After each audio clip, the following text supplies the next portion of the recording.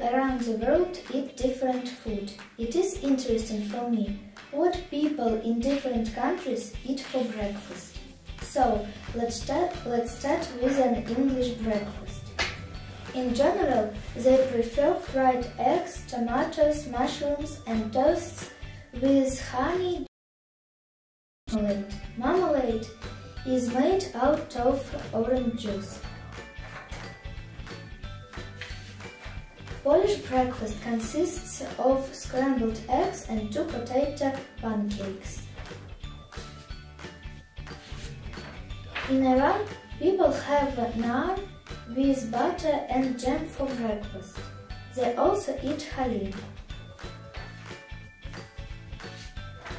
Cuban breakfast consists of sweet coffee with milk and Cuban bread.